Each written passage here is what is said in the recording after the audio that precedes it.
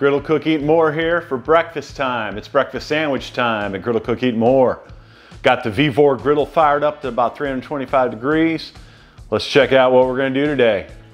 You've probably seen it in the title. So we're gonna do Taylor ham or pork roll.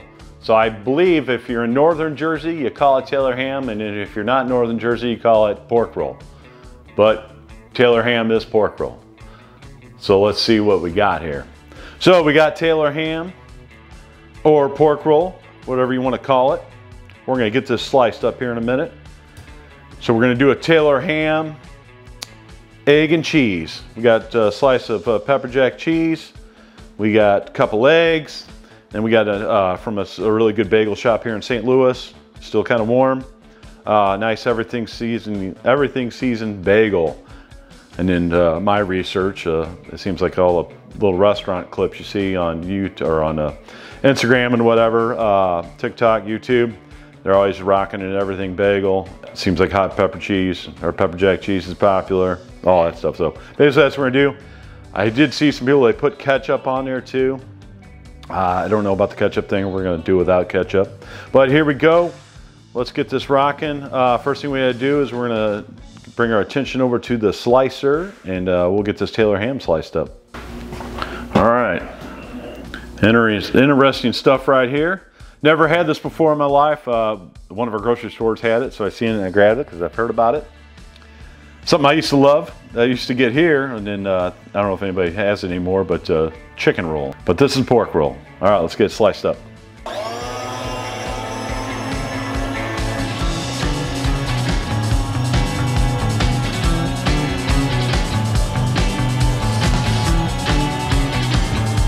Slices like that are probably pretty good.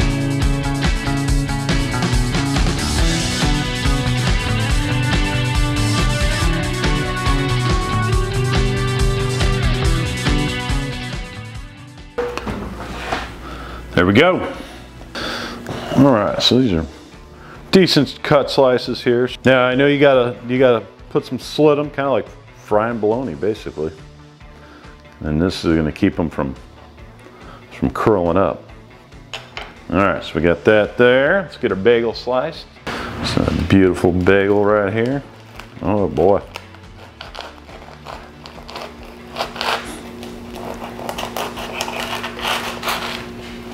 Cut that apart like that, perfect. And let's get them eggs whipped.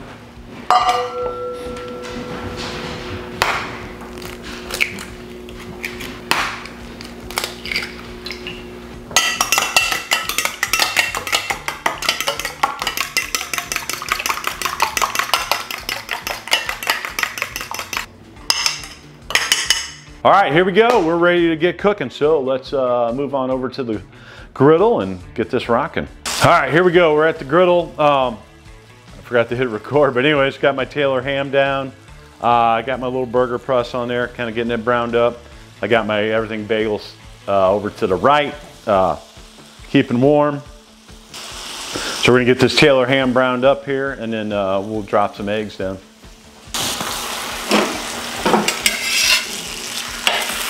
There we go, look at that.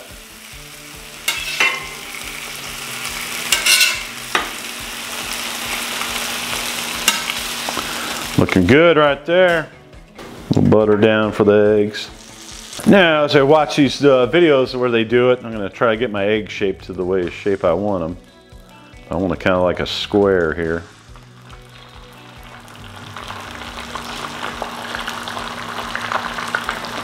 Hmm, almost pretty good there. Pretty close what I'm looking for. Work that over a little bit. So then they throw the cheese down right in there. And then they're gonna flip the egg over on top of it. All right, let's get that egg flipped over here. Get underneath it. Try and do this left-handed. Let's give that a second there, get that cheese to melt inside that egg a little bit, because that's what we want. We nice, want that nice ooey gooiness. All right, let's start building.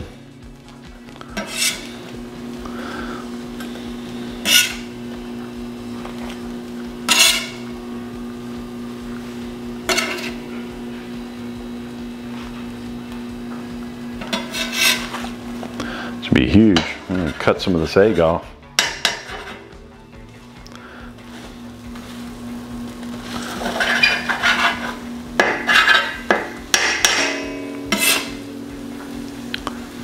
Go, like that.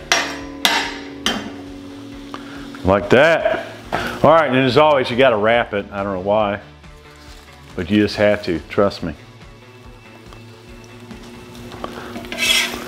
So, scoop it here. Drop it down. Flip it over like that.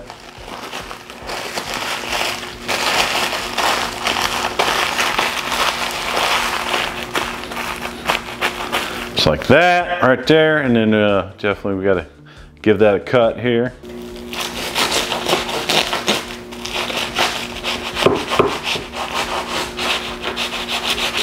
To that paper there a little bit.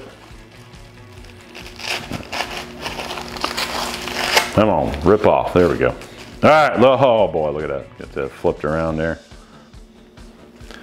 Oh, look at that. Looks beautiful. Beautiful. All right, let's give it a try. Steaming hot there. Here we go. Check it out. Oh, get my bagel straightened up on there. That is really good. I've never had it before, but I'm digging it. Probably could, actually, probably could do without that salt, pepper, garlic on there. Um, cause it, uh, that pork definitely got a little saltiness to it. And then everything bagel with all its seasoning, at least these bagels. Yeah, if you didn't put that little bit of salt, pepper, and garlic on there, I don't think I don't think you'd miss it on the egg. Let's get one more bite. All right, well, that's a win. I like it. I dig it. If I make it to Jersey one day, I may get a Taylor ham or a pork roll, depending on where I'm at. Try out a real one. But that's it for this video. If you got Taylor ham in your area and you never tried it, check your grocery store. Uh, pick it up. Super simple, easy sandwich to make. Give it a try, see what you think. But that is it for this video, and I am out.